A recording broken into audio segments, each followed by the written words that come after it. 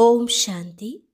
आज है सत्रह जनवरी 2022 के ईश्वरीय महावाक्य। पहले सुनते हैं मुरली के मुख्य पॉइंट्स बाबा ने कहा, तुम्हें सबको बताना है कि विश्व में स्वर्ग की स्थापना करने वाला विश्व का मालिक शिव बाबा है। वही भारत की बिगड़ी को बनाते हैं सेकंड में, जो भारत कौड़ी जैसा बन गया था अब उसे हीरे जैसा बना रहे हैं। बच्चे जानते हैं, गालियाँ तो खाना ही है। भारत में देवताएँ भी गाली खाते आए हैं। लेकिन तुम बच्चों में जो विशाल बुद्धि हैं, उनको बहुत खुशी रहेगी। विशाल बुद्धि उन्हें कहेंगे जो पहले स्वयं धारणा कर, फिर दूसरों को भी कराते हैं। कल्प पहले जिन्होंने समझा है, केवल वही इन बातों को समझेंगे। यहाँ तो पवित्र रहने की मेहनत करनी पड़े। फिर कहा, तुम हो शिव शक्ति सेना। पहले स्वयं बाप से अविनाशी ज्ञान रत्नों की झोली भरते, फिर भारत की झोली भरते हो। अब यह भारत बहुत साहूकार हो जाएगा। संगम है ही कल्याणकारी, क्योंकि संगम युग पर ही दुनिया बदलती है। जो बच्चे अभी झोली भरते हैं, राज्य भाग्य भी वही लेंगे। इसमें मूंझना नहीं चाहिए। आगे कहा, बाप देखो कितना मीठा है। वह तुमको भी इतना मीठा बना रहे हैं। तो उनको याद करना चाहिए ना। याद से ही विकर्म विनाश होंगे और तुम बाप के पास चले आएँगे। और लास्ट में बाबा ने कहा, जैसे शुरू में तुमको साक्षात्कार हुए, ऐसे पिछाड़ी के समय भी होंगे। उधर हाहाकार होगा और यहाँ तुम बड़े खुशी में रहेंगे। जब जास्ती हंगामे होंगे तो बच्चे मधुबन में आकर इकट्ठे होंगे। लेकिन सभी तो यहाँ नहीं आएँगे। जो सपूत बच्चे बाबा के मददगार होंगे, वही आएँगे। और अब सुनते हैं महावाक्यों को विस्तार से। मुरली का सार, मीठे बच्चे, प्यार से मुरली सुनो और सुनाओ। ज्ञान रत्नों से अपनी झोली भरपूर करो, तब भविष्य में राज्य अधिकारी बनेंगे। प्रश्न, शिव बाबा को भोलानाथ क्यों कहा गया है? उत्तर, क्योंकि शिव बाबा सब बच्चों की बिगड़ी को एक सेकंड में बना देते हैं। कहते भी हैं, राजा जनक को सेकंड में जीवन मुक्ति मिली। तो एक जनक की बात नहीं तुम सबको बाप एक सेकंड में जीवन मुक्ति दे देते हैं। भारत की बिगड़ी को बना देते हैं। दुखी बच्चों को सदा के लिए सुखी बना देते हैं। इसलिए उन्हें सब भोलानाथ कहकर याद करते हैं। शंकर को भोलानाथ नहीं कहेंगे। गीत भोलेनाथ से निराला कोई और नहीं। बिगड़ी को बनाने वाले से निराला कोई और नहीं। ओम शांति। भोलानाथ बाप का बच्चों प्रति पहले पहले डायरेक्शन है कि भोलानाथ की याद में रहो। मनुष्य को भोला नहीं कहा जाता। भोलानाथ शिव बाबा को ही कहेंगे। शंकर को भी भोलानाथ नहीं कह सकते। जो बिगड़ी को बनाने, अर्थात दुखी को सुखी बनाने वाला है, उसको ही भोलानाथ कहा जाता है। बिगड़ी भी भारतवासियों की है तो भारत की बिगड़ी को बनाने वाला भी ज़रूर भारत में ही आएगा ना? बिगड़ी को बनाने की युक्ति सेकंड में बतलाते हैं। जनक को भी युक्ति दी थी, बिगड़ी भी कोई एक की नहीं बनती। अगर जनक की बिगड़ी बनाई और उसने जीवन मुक्ति पाई तो ज़रूर राजधानी होगी। उनके साथ बहुतों को जीवन मुक्ति मिली होगी। भारतवासी यह भी समझते हैं कि भारत जीवन मुक्त था। जीवन मुक्त कहा जाता है स्वर्ग को। जीवन बंद कहा जाता है नर्क को। यह है राजयोग। राजयोग से ही राजाई की स्थापना होती है। एक जनक की बात नहीं। भगवान ने राजयोग सिखाया तो राजाई भी दी है। बरोबर देखते हैं, सतयुग के लक्ष्मी नारायण ने राजाई कैसे पाई? अभी तो है कलयुग, प्रजा का प्रजा पर राज्य स्थापन हो चुका है। यह है पंचायती राज्य। इसके बाद है सतयुग। तुम जानते हो लक्ष्मी नारायण ने आगे जन्म में ऐसा कर्तव्य किया है, तब सूर्यवंशी राजाई पाई है। फिर है चंद्रवंशी। वह तो राज्य की ट्रांसफ़र होती है।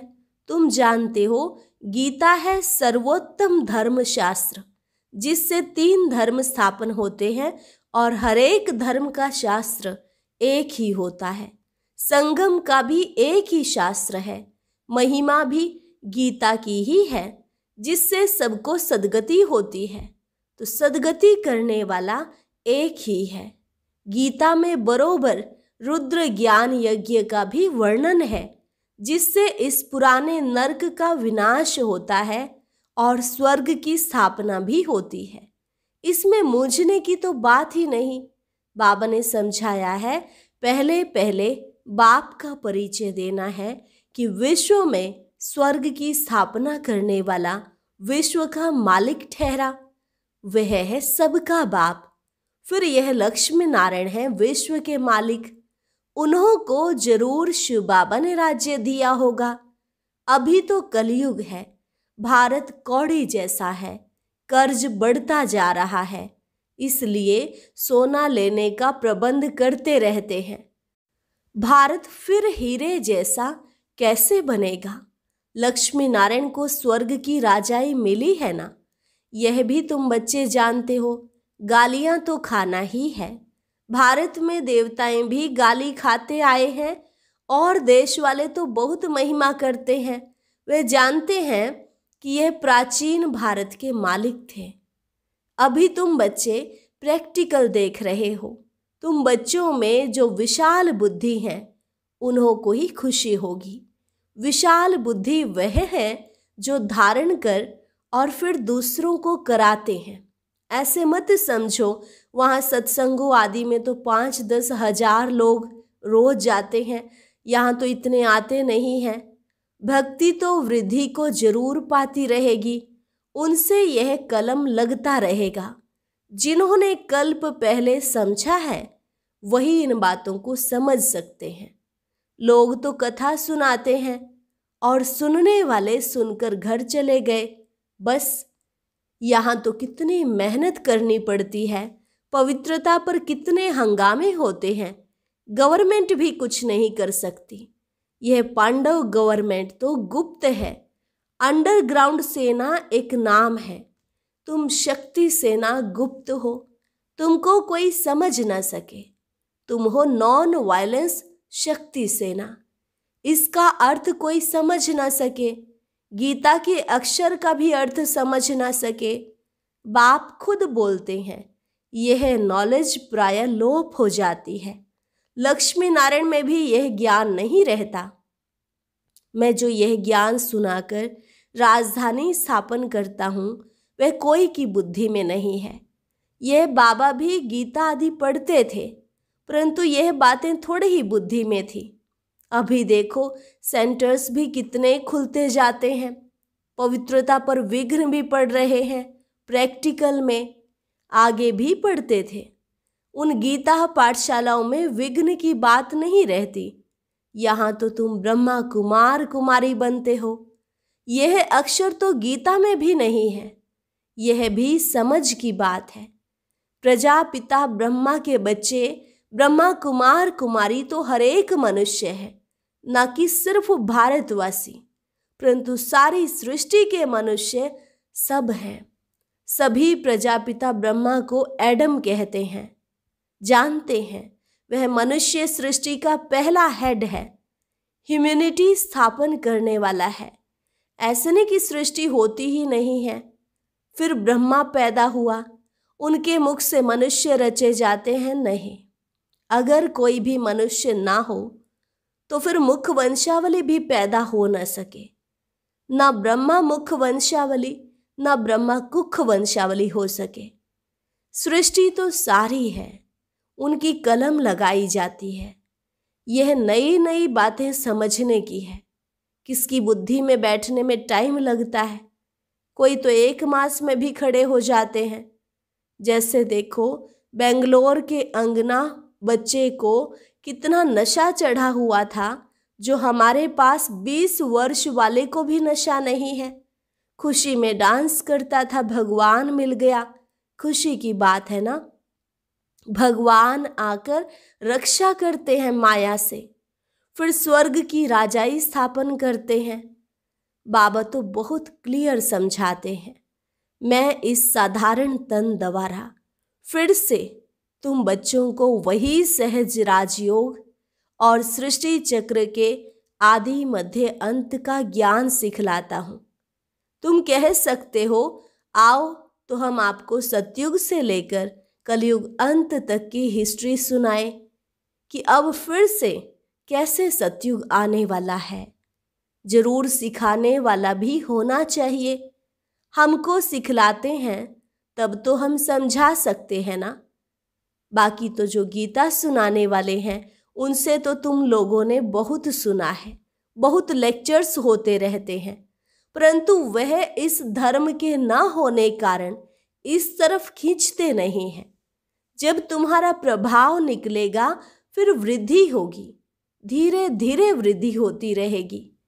यह तो जानते हैं, भारत कितना कंगाल है। मनुष्य भूख बहुत मरते हैं, दुखी होते हैं। भगवान की भक्ति करते हैं कि आकर दुख से छुड़ाओ। तुम बच्चे जानते हो, सुखी सृष्टि कब होती है। यहाँ तुम बच्चों की झोली भर रही है इन अविनाशी ज्ञान रत्नों से। आगे तो सब सुनते सुनाते थे, परंतु उसमें झोली भरने का प्रश्न नहीं। झोली अभी सिर्फ़ तुम्हारी भर रही है। और जो टेप सुनेंगे, व मुरली पढ़ेंगे, व सुन रहे होंगे, वह भी झोली भर रहे हैं। तुम हो शिव शक्ति सेना, भारत की झोली भरने वाले। भारत बहुत साहूकार हो जाएगा, परंतु जो झोली भरते हैं, राज्य तो सिर्फ़ वही करेंगे ना। भारत सोने की चिड़िया थी, फिर बन जाएगी, सभी सुखी होंगे। परंतु भारत में कितने करोड़ हैं, इतने सब तो वहाँ नहीं होंगे। जो झोली भरते हैं, राज्य भाग्य तो वही लेंगे। इसमें मूझने की बात ही नहीं कि कैसे होंगे। अरे, इन लक्ष्मी नारायण को देखो ना, यह सतयुग के मालिक है ना। स्वर्ग का रचयिता है शिव बाबा, और ये लक्ष्मी नारायण सतयुग के मालिक हैं। ज़रूर आगे जन्म में पुरुषार्थ किया है। आगे वाला जन्म, अर्थात पहले वाला जन्म होगा संगम पर। संगम कल्याणकारी है ना? क्योंकि संगम युग पर ही दुनिया बदलती है। तो ज़रूर कलयुग और सतयुग के बीच में ज्ञान दिया होगा। सो अब फिर से दे रहे हैं। फिर कोई कहे कि निराकार परमात्मा कैसे आकर राजयोग सिखलाएँगे? तो तुम त्रिमूर्ति दिखाओ, ब्रह्मा द्वारा स्थापना तो जो स्थापना करेंगे, वही पालना भी करेंगे। जैसे क्राइस्ट ने स्थापना की, फिर पालना के लिए पोप भी ज़रूर उनको बनना पड़े, वापिस तो कोई जा न सके। पालना ज़रूर करनी है, पुनर्जन्म लेना ही है, नहीं तो सृष्टि बढ़े कैसे? जबकि सतयुग त्रेता में पहले देवताओं का राज्य था तो सबसे जास्ती आदमशुमारी ज़रूर इन्हों की होनी चाहिए। फिर क्रिश्चियंस की जास्ती क्यों है? फिर लाखों वर्ष की भी कोई बात नहीं है। यह सब बातें समझेंगे वही जो अपने घराने के होंगे। औरों को तीर लगेगा नहीं। यह ज्ञान का तीर है ना? बाबा कहते हैं, भले किसको भी ले आओ तो ज्ञान बाण लगाएँ। होगा ब्राह्मण कुल का तो तीर लगेगा। शास्त्रों में दिखाते हैं, लड़ाई में यादव कौरव मारे गए। पांडव पाँच थे, फिर हिमालय पर जाकर गल मरे। अब ऐसे तो हो नहीं सकता, गाया भी जाता है, जीव घाती महापापी। आत्मा का कभी घात नहीं होता है। आत्मा खुद जाकर शरीर का घात अथवा विनाश करती है। अब पांडव, जिन्हों को श्रीमत देने वाला परमात्मा था वह जाकर पहाड़ों पर गल गए। यह तो हो नहीं सकता। अच्छा वह तो पाँच पांडव थे। बाकी और पांडव कहाँ गए? सेना तो दिखाई नहीं है। तुम जानते हो विनाश कैसे होगा। तुम देखेंगे भी। तुम बच्चों को साक्षात्कार भी बहुत होंगे। शुरू में तुमको बहुत साक्षात्कार होते थे। कभी लक्ष्मी को, कभी नारायण को इनवाइट करते थे। कितने साक्षात्कार होते थे। फिर पिछाड़ी के टाइम पर जब हाहाकार होगा, तब फिर तुमको साक्षात्कार होंगे। हंगामे होंगे तो तुम बच्चे आकर यहाँ इकट्ठे होंगे। इसलिए मधुबन में जास्ती मकान बनाते रहते हैं। फिर तुम बच्चों को इन साक्षात्कार से खुशी में लाते रहेंगे। परंतु मासी का घर नहीं है, जो सब यहाँ आ जाए। जो सपूत बच्चे बाबा के मददगार होंगे, वही आएँगे। अगर पांडवों के गलने की बात होती तो फिर मकान ही क्यों बनाते? कोई भी बात में मूझते हो तो अनन्य बच्चों से पूछ सकते हो।